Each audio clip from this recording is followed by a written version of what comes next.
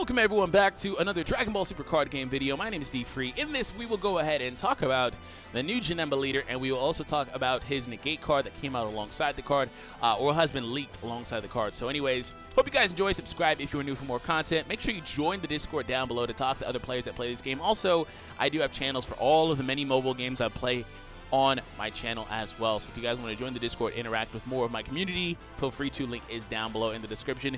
Huge shout out to John Ramirez and the uh, Dragon Ball Super Card Game Community Discussion Group over on Facebook as well for these early leaks. So again, this apparently is a leak from the demo deck that is coming out, but Blue has not officially been revealed, as far as I know, as of right now, on the official Dragon Ball Super Card Game website for Set 5 yet. But Janemba, very, very generic leader on the front side. You have to mill two cards from your deck, and then when he swings, you draw a card. Not a bad thing. Very, very normal, pretty much vanilla. When he awakens, he untaps two energy.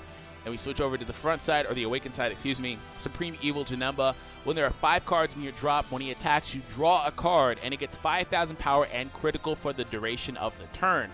Activate Main as a secondary ability. Choose one card in your hand and place it in the drop area. During this turn, when your opponent activates a counterplay card, they choose three cards from their hand and place them in the drop area. So the first half, I'm going to talk about that. That allows this guy to be a very disgusting aggro leader, especially because Unyielding Trunks is still a problem because he is exclusive to blue. Like, I don't really have like a gripe with Unyielding Trunks, but it's just blue starting to have a lot of really, really, really uh, powerful exclusive cards with that and with Flute. Flute was so powerful it needed to be limited and things like that. And all of a sudden we have another scenario where blue is just too overwhelmingly good, right? And that allows this guy, again, to be a very, very effective aggro leader because you will always, assuming you do not play Overwhelm, this seems like a lot of this set is trying to phase out Overwhelm, but that's fine. You don't really need to play it. If you don't play Overwhelm, you literally, or even if you do, you only need five cards in your drop. That's a few combos, whatever. Anyways, um, assuming you have five in your drop, you will always be 5k stronger than the opponent's leader. You always also plus one a card to your hand. You also always do critical damage, which then which can be comboed with things like a Champa or the Supreme Kai to add double strike, critical. Like it's it's disgusting.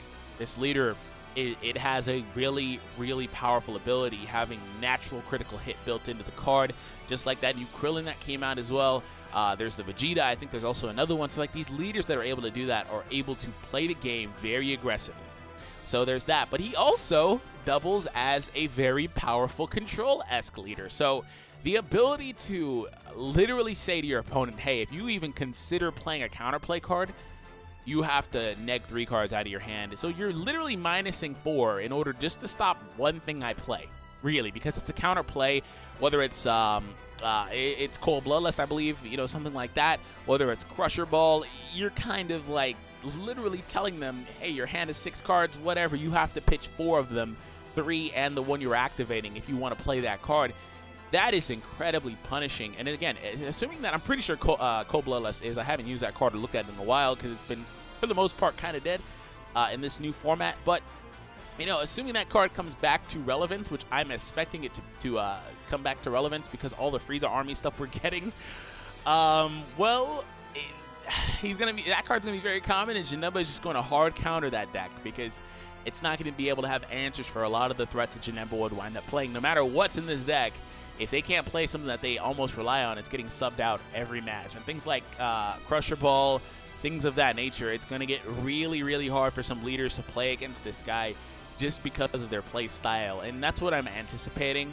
Um, otherwise, I feel like he has a little too much ability, but I mean, I don't really think it's game breaking, but it's just going to be a very bad matchup for those Frieza army leaders or decks that mix in yellow and things like that.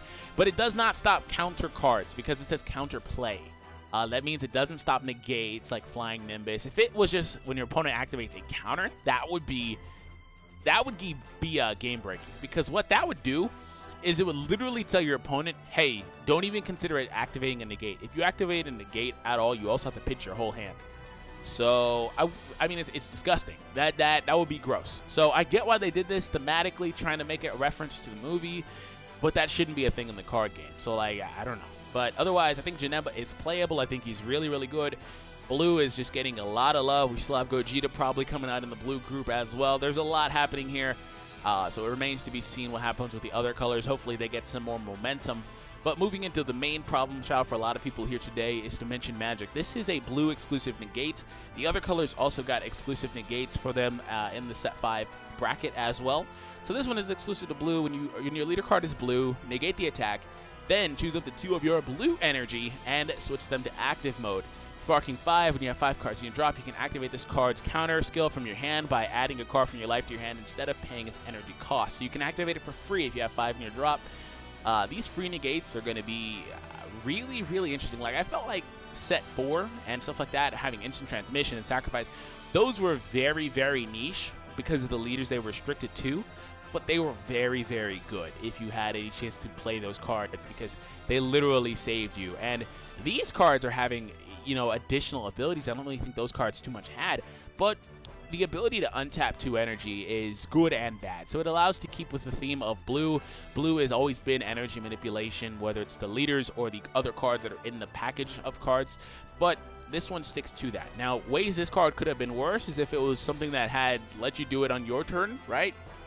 Or if it was something that was able to untap 2 energy, period. So if it was able to say untap a yellow and you were able to use another yellow card like Flying Nimbus, that would be disgusting. Using this, being tapped out, ending your turn, using this, adding a card to your hand to replace this one in your hand, then using a Flying Nimbus, that would be disgusting because from there you went from having no yellow energy to having your opponent literally only be able to make one more attack because you just negated two. They're at a point where they had one more battle card attack and then the leader attack, and that's it. And hopefully they didn't swing with the leader and you didn't negate the leader. so that would be gross. But two energy is, I feel like that's manageable. It kind of, it kind of reminds me of the Zeno button because the Zeno button says you untap all of your stuff. And it's also, I believe, a, a zero cost, right? And it's a counter. So a counter attack or something like that. So like, it, it seems like it's that type of ability, and I don't, I don't think anybody really has a problem with Zeno button. So if you if you don't have a problem with Zeno button, I really feel like you should have a problem with this card otherwise, because they kind of do the same thing. But what I can say is that the ability to do this, again, for free, untap 2 energy, transition from here into like a Senzu Bean, and then untap a green energy or yellow energy to allow you to play other powerful counters or things like that, like a Flying Nimbus again, is disgusting, but that's still multiple cards just for you to play defensive. But it is nice to have the utility. So that's interesting. It's it's a plus one to your hand. It is uh it, it's it's plus one in your hand, but really it's not because you play the card, but it's an even. Uh, you're not negging anything, but I feel like this card, I don't think it's broken. I don't. Um, the untap 2, what it will do, like I said, is it just kind of won't allow you to break through some of these barriers this deck will set up. That's the thing. I think that's really the thing because they're going to play threats on their turn. They're going to try to push you, but they can't push you you'll be tapped out or you will be in a position where you're not tapped out and then you untap 2 energy, right? That's another thing too, is it's literally a Senzu Bean minus the 5k pump. Whether you don't have to pull the life or anything like that, you can just activate it and ready another energy, you know? Uh, untap the two energies still, and you can transition into using, uh, you know, the uh, Gohans or whatever you need to do, Unbreakables, and it just enables some really, really degenerate things. Uh, this coupled with Senzu Beans, then on the offensive side, Senzu Bean and Unyielding and all that, and then if you're playing Soul Striker, like there are a lot of ways that Blue is way too efficient at manipulating energy, it seems, which is why I understand the people getting upset about this. So, for me, I don't really think it's a huge issue, but we'll have to see what happens. But anyways, have an awesome day, and I will catch all of you in the next one.